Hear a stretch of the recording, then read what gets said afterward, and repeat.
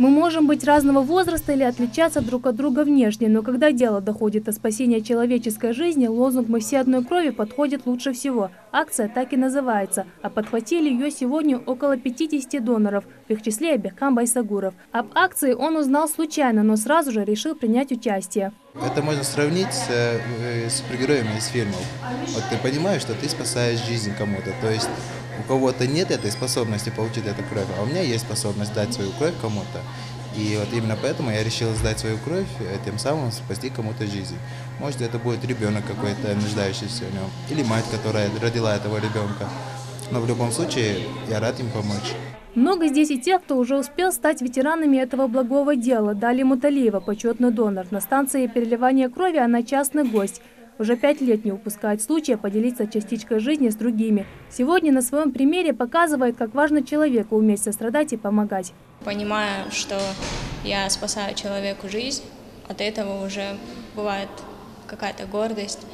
А, после сдачи крови, когда кто-то ею воспользовался, приходит сообщение на телефон «А, «Спасибо, вы спасли жизнь». От этого вообще очень море эмоций бывает.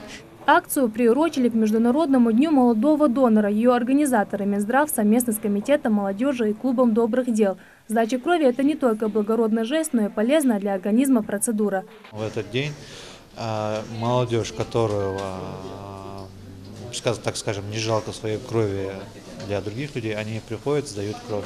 Здесь с нами сегодня пришли и клуб добрых людей, и молодежная инициативная группа, и молодежный парламент, наши волонтеры, сотрудники, все, кто могут, все, кто прочитал, знал, откликнулся. То есть где-то в районе 50 человек, что сюда сегодня пришло.